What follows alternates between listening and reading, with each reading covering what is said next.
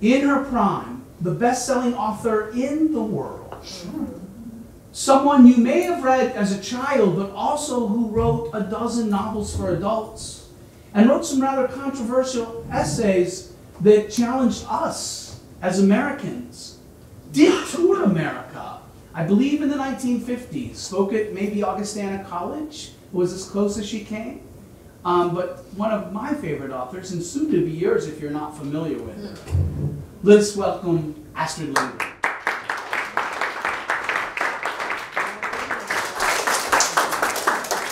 What a delight to be here. My audience is not generally of this age. So I will close my eyes and pretend that you're all quite youthful. And you look pretty good for youth. As Mr. Alice has told you, my name is Astrid Lindgren. Oh, but I was not born as her, obviously. It was in 1907 on a little farm that was connected to the rectory in a little village in Sweden. My mother gave birth to her second child, Astrid, they called me. I had an older brother and soon to follow two younger sisters. And there I grew up on the farm. My father, doting, loved children, was a daydreamer, but a good farmer. My mother, stern, and she always believed you should work hard. So a doting father and a stern mother didn't always mix, but my mother always won. yes, she did. Every morning, you children will go out and do your chores, pulling beets, feeding the cattle, and then we would clean up and go to school. And you'd better study hard. I hate to tell you, I did study hard, but I fidgeted terribly, terribly. They would, once they took a picture and all the children in the classroom were sitting very still and I was waving my hand in the picture. They said, I didn't get in a lot of trouble, I just couldn't sit. But when we got home from school and we got our work done, for my mother said, You must work and you must love to work in order to be happy, and happy we wanted to be, we would play. My brother and I were expert tree climbers. Even at the age of 40, I could climb trees better than my own children themselves. And it was much to their surprise when I'd come up to a pine tree and simply shinny on up. We loved to wander about the flowers, the streams, the trees, the animals. And this is where I just loved to learn nature. My brother and I, we called ourselves the thing finders. And we would come home with seeds, and we would come home with stones, and we would come home with eggs, and all the treasures that you would have in the great land of Sweden. I also love to write. And I could write in German, English, and Swedish. All three languages helped me a great deal through my life. I would write little stories and send them off, and I'll be danged if the editor of the local paper didn't pick up on it. Of course, I had classmates, and I would that were his children. I would poke them. Did your dad get my story? Did your dad get my story? And he did take notice. I loved humor. I loved to use my imagination. And for my final paper in high school, I wrote a huge, huge paper on the life of nuns in the convents during the Middle Ages. Now, this is a very difficult subject to put humor into. but I was able to work it in quite well. Upon graduation, the editor of the local paper did take note of me and asked me to come on the paper as a trainee. Now, you did not have to go to school in those days to become a, someone in the paper writing articles. And my task, of course, were obituaries. seldom did I have my name tag on them, and seldom were they humorous because that was frowned upon somewhat. There were many other articles. They learned they would search the papers when my name became well known to see what other articles I had written, but the editor never put my name tag on them, so they didn't know. When I was 17, five of my best friends. And friends we were for life. Let me tell you, five of my best friends and I stood on the village square on a fine day in June with comfortable shoes. By the way, if you have to go through life, you really should wear comfortable shoes. we had on comfortable walking skirts and knapsacks, and we set up on a journey. 200 miles we were going to hike through Sweden. And people would take pictures of us, of course, mostly from the behind. and off we sat, stomping along. And the first day out, I did have to get another pair of shoes, and that's really when I learned that comfortable shoes are more important than looks. We would sometimes get picked up. I can remember one day, it was terribly warm, and we'd walked a long distance. Our arms were hanging limply, and our faces drooping sadly, and our feet were at least one meter behind the rest of our bodies. and we could hear, oh, behold, an automobile.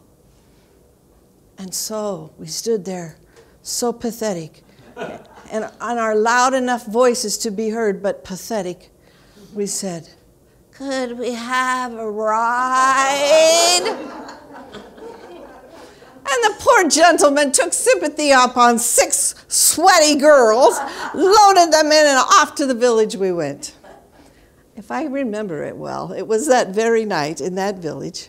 We were to stay at a manor house, but the village itself was having a festival.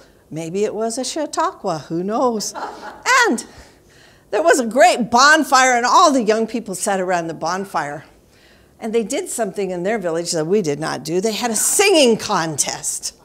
I never was known to be a great singer, unlike people that have gone before me here. It's difficult to follow a song and dance routine. But they enticed us, six girls, join in, join in, join in. Well, you hate to be rude. So at last we did join in, and of course we won the contest, for we knew all the most wonderful songs, and we caught the eye of the most handsome gentleman in the whole village, much to the disdain of the ladies. I wrote back to the paper for every three or four days I would send a missile off to the paper so they could publish it because everyone in the village was wondering what are the six girls doing. I said, it is miserable to be a human, and marriage does not seem to end that at all. we traveled south, past into the hills, past a great lake, over a mysterious mountain that was covered in fog, as if a cat had sat down on its haunches. and from there, we went to large cities now, I will confess that occasionally, maybe more than occasionally, we were given a ride. Sometimes we jumped on a little train if we had enough funds, and sometimes the horse drawn wagons would come up with milk, milk jugs and milk, just like this creamery, and we would hop on and they would take us to the next village because our feet were weary. We came to one village and I knew Ellen Key lived just a few kilometers outside the village. Ellen Key at that time was a famous author who I just adored, and I really wanted to see her. So we decided just to hike on out there. We were not welcomed, however, and the, the workers there said, Did you have an appointment? What are you doing here? Of course, six beautiful girls in their comfortable shoes and their comfortable walking skirt, we've come to see Ellen Key. Well, she's not seeing anyone today, and just then the top window flew open and out popped her head, her hair all disheveled, and said, What do you girls want? With all this commotion, her great St. Bernard came out and bit us. And there was blood, and there was screaming, and of course, the help there drug us into the house, which was exactly what we had wanted. and after they cleaned us, cleaned her up some, Miss Key came down. The poor thing hadn't even dressed. She was in her petticoats. She looked me square in the eye and she says, Button me up, and turned around. And there I was, buttoning the petticoats of Elaine Key. Can you believe it? We were given a fine tour, and then we were taken out to the fine gardens and saw them. Oh, it was wonderful! And then we were immediately sent on our way with a band aid on someone's leg. We wrote home about that experience, I will tell you, and it was published in the paper. Oh, the days of my youth were wonderful. My parents now remember worked at the rectory and very conservative people. And one day I came home and I had cut all my long, beautiful hair off into a short bob because you know it was about 1917, 1918, and that was the look of those girls then. My father was taken back. My gentle father could not believe his eldest daughter would do such a thing, and my mother did not speak to me for three days because she said she did not recognize me. I left the paper and I went to the big city of Stockholm. Now, I call these my very lean bachelor years. And I call them that for two very good reasons. Number one, we had few funds to keep me in school there. I went to the Barlock Institute. And there I learned stenography, I learned accounting, I learned business cor uh, correspondence, and I learned touch typing. Touch typing for students was you couldn't look at the keyboard. They would put this piece of paper over the keyboard, and how do you know where the E and the Z are? But you learn, and I became quite proficient at this. But I had left all my friends behind. And I had left my wonderful family and wonderful brother behind. And I had left all that wonderful food from the farm behind. my parents would send a package, oh, as often as they could, perhaps every three weeks, perhaps every month. I would cut the cheese, I would take some of the meat, and cut that bread that mother had made, and I would just dream of being home in her kitchen. But I could only eat a little every day because it had to last. And thus it was my lean years. But upon completion of, of this, I tried to sell myself at 19 as a very sophisticated woman in the big city. I applied for a job and received it at the Automotive Club. An automotive club in those times, well, automotives were fairly new, and they would race about the countryside, and we would, or the automotive club would arrange races, as well as tours about Sweden. And you can stay at this place, and you can see this, and you should eat at this restaurant. And, and so I helped to organize these.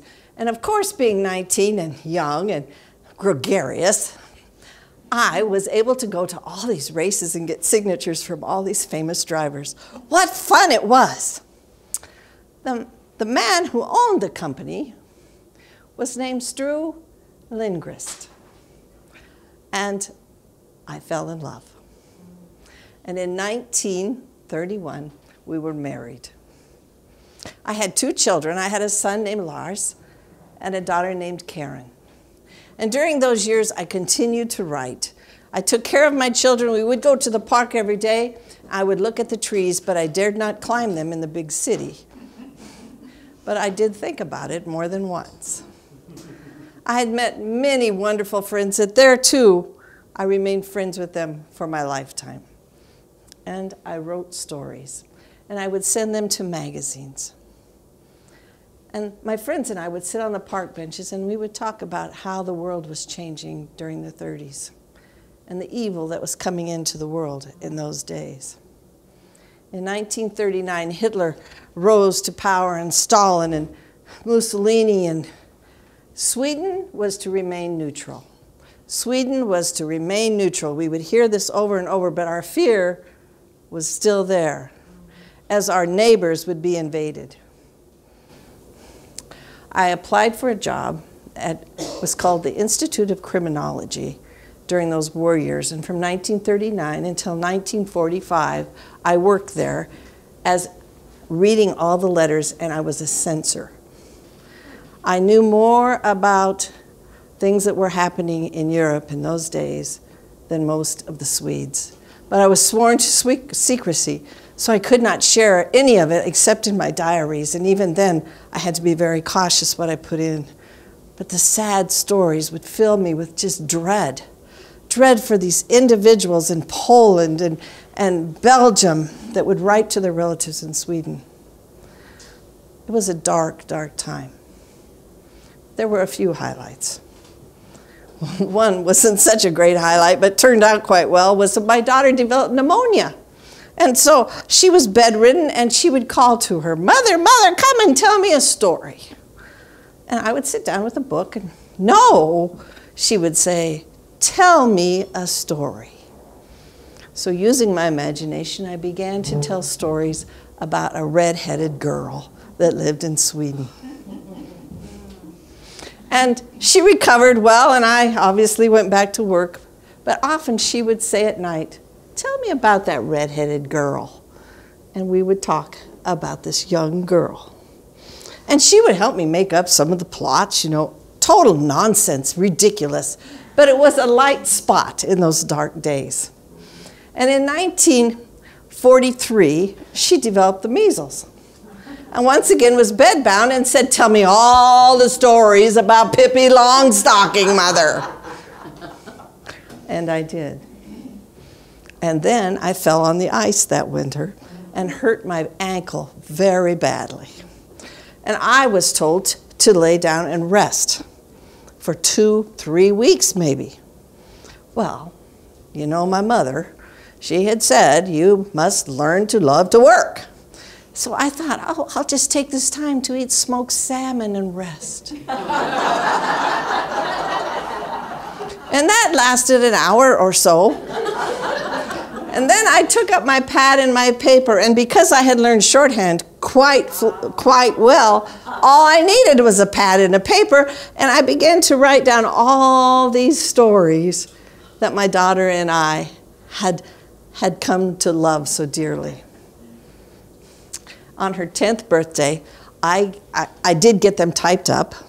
I, my ankle did heal, and I could still climb trees. And I typed them all up and got them put in a leather bound book. And for her 10th birthday, she was given the original Pippi Longstocking stories. Now, I had a dear friend who was a librarian, Ella Olesen, and she said, I would like to see this book. So I shared it with her. And she was immediately taken with Pippi Longstocking. It was 1945. The war was come to an end and the dark times were over and people wanted something light. She said, We'll have it published. But you're going to have to take the thing out of there about the bucket of urine, and you're going to have to take all the stories out of there about the manure. And she was crossing out a lot of the interesting parts, I thought. I rewrote it three times, and by September, it was ready to be published. I went to the biggest publisher in Sweden, and they sent me a note quickly. This story is nonsensical. We will not publish it. Ella said, Oh, what are they thinking? So she said, Write a play.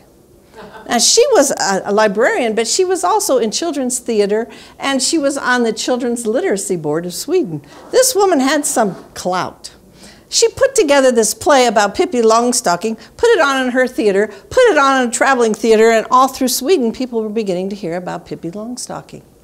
I went to a second publisher who I thought was reliable, only to find out later that they were this close to bankruptcy. And they said, We'll take your story. And the story was published. And Pippi Longstocking became a psychosis in Sweden. That's what they called it, the Pippi Longstocking psychosis. And all the children wanted a Pippi Longstocking book for Christmas. Yes, uh, let us hear more. And I began to talk on the radio, and I would tell Pippi Longstocking stories on the radio in my best, best voice without the urine and the manure in them. it was wonderful. We went to press, and the books sailed off the shelves. Before Christmas, every child wanted a Pippi Longstocking book for Christmas. And the presses went to work, and they were still running the presses on Christmas Eve, loading the boxes and taking those books to the stores so that every child could have a Pippi Longstocking book for their Christmas gift. Between 1945 and 1950, over 300,000 Pippi Longstocking books were sold. Well, now, you know, I told you that I couldn't just lay there, but I did learn I love to write laying down. so I would take my steno pad, and in the mornings I would just write. And so soon I came up with two more Pippi Longstocking books called Pippi Longstocking on Board and Pippi Longstocking on the South Seas, because you know, of course, that's where her father was, but maybe you don't, but I will fill you in on all that in a little bit. It was wonderful years. And that publishing company did not go bankrupt. For I was the top salesman. Now, I did get plenty of criticism from children's literature critics who said the story has no value and it's nonsensical, and the children learn nothing but bad behavior. it did not make me sad. I enjoyed it immensely. It was to be followed by other books. Some were shorter books and others were uh, uh, longer books. I came up with a, a character named Emil. And Emil could have been Pippi's brother, perhaps. He was so ornery. And he always got into so much trouble. It was a joy to sit and write. I was able to travel and soon the books were in many, many languages, all the way to, they said, well, let's go down to South Africa, let's go to South America. Germany, Germans loved Pippi Longstocking. And the poor people didn't have any paper to even print on in those days, and uh, let alone having a publisher. So we would have to print it in German. I would go to Germany, and because, because I could speak German quite fluently, I would go on radio shows and read Pippi Longstocking to the children there. It was a joy. It was a year of great, it was years of great joy. And then came sorrow. For in 1952, my husband became violently ill and passed away. And it was a year of great grief for me. I found I couldn't even write. And, and a, uh, it was like a shadow had, had come over me. But my friends, all my friends that I went to school with, all my friends that I'd worked with, they all lifted me up and boistered me up. And the editor at the publishing company thought perhaps I could come to work. I said, Oh, I will only work half days because I have to lay in bed in the mornings. and write. So at noon each day, I would go to the publisher and there would be stacks of mail. They gave me a personal secretary. there would be phone calls, there would be interviews, there would be trips. It was good years. It was very good years, those 50s and 60s. but in 1976, the Swedish government, government, which had been socialist party since the 1930s, did me a bad turn, they did, and I'd always supported them they were charging me 102% tax. that is a lot.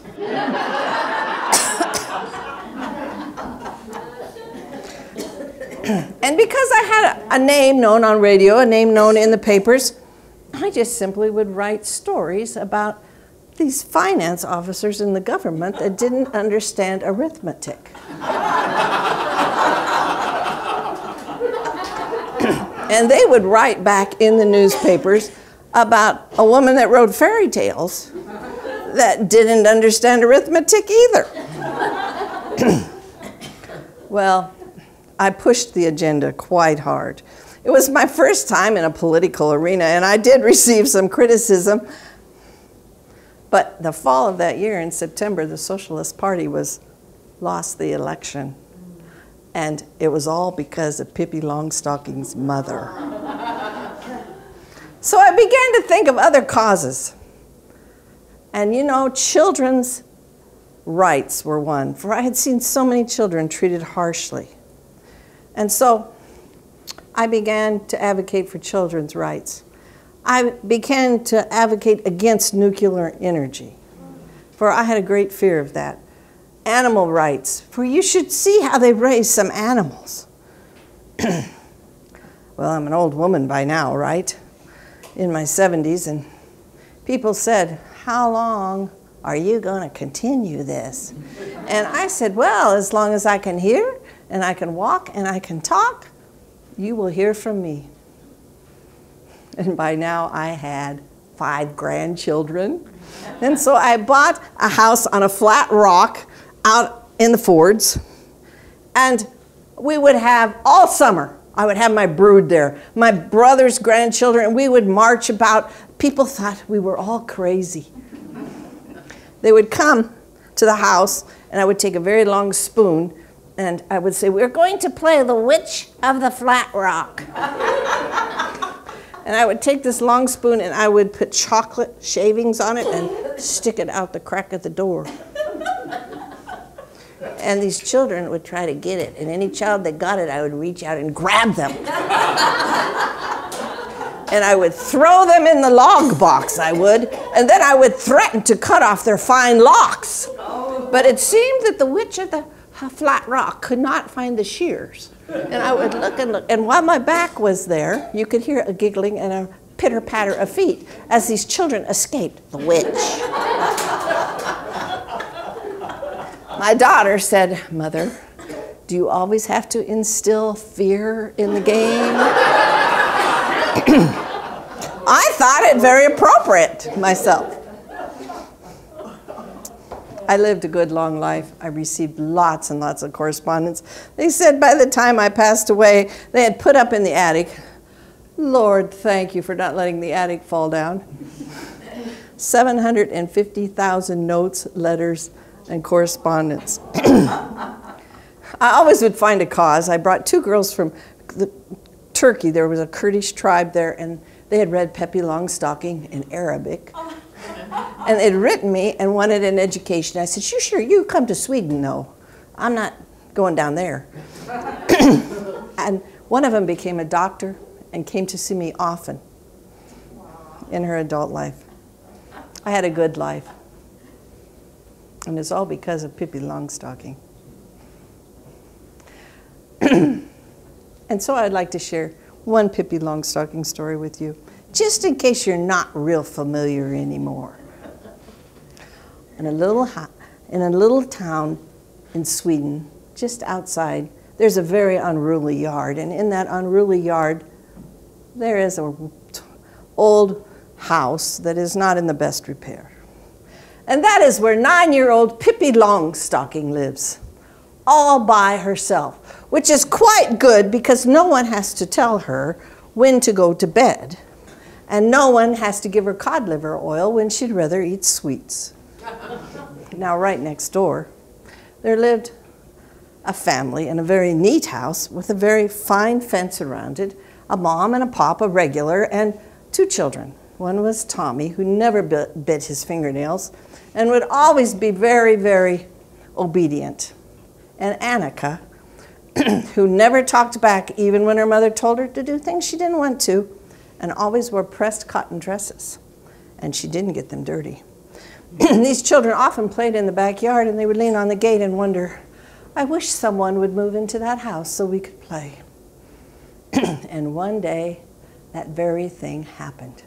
For you see, Pippi Longstocking, she had a mom a long time ago, but she couldn't remember her, for she had died, and Pippi imagined she was in heaven looking through a peephole, so Pippi would wave every once in a while and say, Don't worry, I'm fine. She also had a father whom she liked very, very much. But he was a captain of a ship, and, during, and they sailed all over the world. But on one day, a great storm came up, perhaps named Ida, and blew him off the ship. And Pippi knew that he did not die, for he swam ashore and became the king on a South Sea island.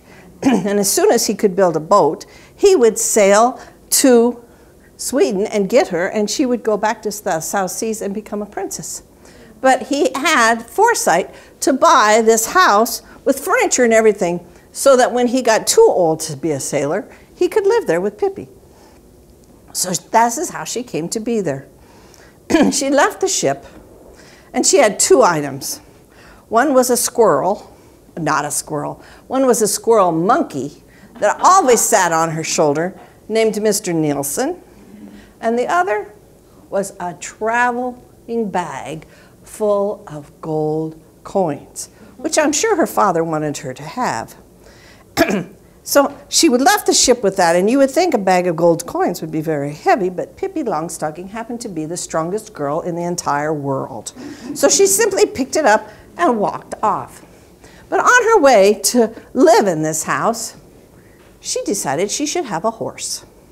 So she bought the horse and she put him under the other arm and carried the bag and the monkey sitting on her shoulder and went and lived at the Villa Villekulla. now, Tommy and Annika saw this strange girl coming out of the house. And I only say she was strange, for you see, she had carrot red hair, and she had a little nose about the size of a potato right in the middle of her face, which of course is where every nose should be. And it was covered with freckles, her face, and she had a smile that went nearly from ear to ear, and whenever she smiled, her perfect teeth would show.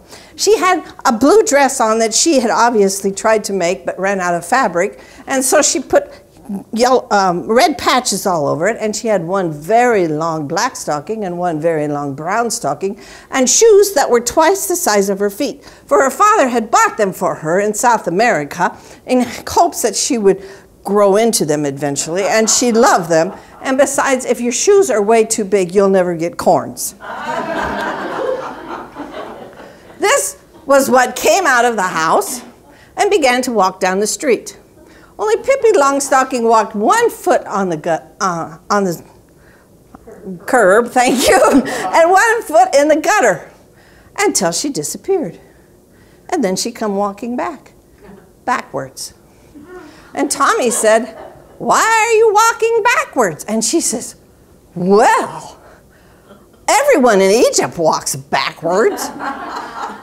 And Tommy said, you have never been to Egypt. How do you know that? I have never been to Egypt, said Pippi. Why, of course I have been to Egypt. Everyone knows everybody walks backwards in Egypt. I have been all over the world with my father, the captain of the ship. Tommy says, I think you're lying.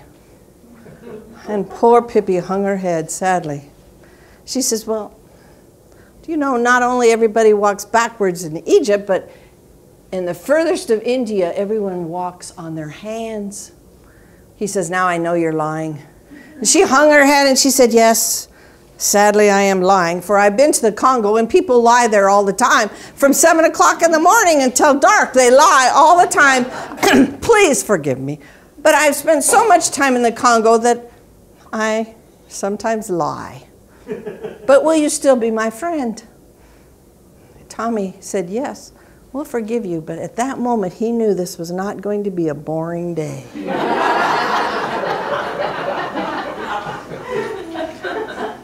Pippi Longstocking invited them into their house, and there they saw a horse on the veranda eating oats out of a soup, soup turban, soup tureen. And they said, You have a horse? She says, Yes, but every afternoon I pick him up and put him in the garden. They said, Put him in the garden? Yes. And she picked him up and put him in the garden. Tommy was impressed. They went in, and Pippi took three eggs, threw them in the air, and two of them hit the skillet, and the, and the other one landed right on her head. And she said, Oh, egg yolks are very good for your hair. in Brazil, everyone puts their eggs in their hair, except one man who ate all his eggs, and he went bald. but he was never allowed out of the house because there was such a hoopla when he, a bald man would come out of the house that they had to call the police. And with that, she scraped all the eggshells out of the pan, mixed up the flour batter, and threw it into the skillet that was warmed up, flipped that pancake up, then browned it on the second side, flipped it over, and landed on their plate. And she said, Now eat that while it's still warm. Tommy and Annika ate the pancake. And once they had finished, she took him in the sitting room. But the sitting room only had one chair because Mr. Nilsson only sat on her shoulder, and the horse didn't really like the sitting room very much. she had a huge trunk with trinkets of all kinds eggs and stones and necklaces and mirrors and eyeglass pieces. And why, it was a mystery to Tommy and Annika. And after she'd shown them everything, she turned to them and she said, You better go home now. because if you don't go home now, you won't be able to come back tomorrow and see me again. and so they left. The monkey waving goodbye and Pippi Longstocking waving goodbye. And Tommy and Annika knew their life would be changed forever. And that is the first story in Pippi Longstocking.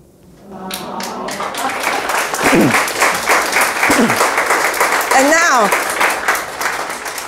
the adventures of Pippi Longstocking go all over. She fights robbers, she goes to a circus, she fights fires. She even threw two policemen on top of the roof who tried to take her to an orphanage. Pick up a book and read it. They say that Brothers Grimm sold the most children's books, Hans Christian Andersen sold the next most books, and Astrid Lindgren is the third top children's book wow. publisher. and thus, I have been named Pippi Longstocking's mother.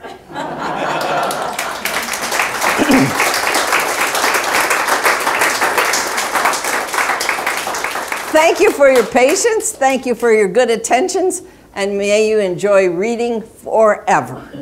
How did, how did Astrid know about what life was like in a convent? Or did she make it all up? that is a good question. Of course, she had to do a lot of research, and she didn't have an internet. So she went to the encyclopedia. I made that up. but she, she did say, she did say that, that the nuns, I, I should stay in character, she, I wrote in there that the nuns were wonderful at their handwork. And if they had only had the opportunity to marry, they would have some of the most beautiful underwear in the world. Any other questions about dear Astrid?